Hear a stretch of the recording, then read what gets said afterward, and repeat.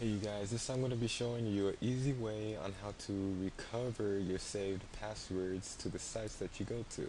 Now this will only work if you actually saved your passwords to the sites that you go to that require you, um, that require you using a username and password.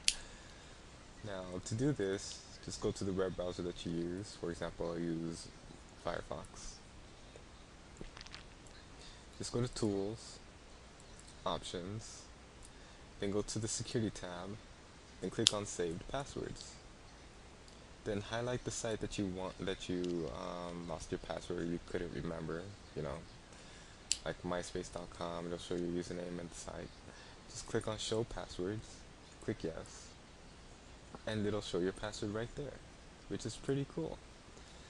And that was a quick tip on how to recover your password and please comment, write, subscribe, and thanks.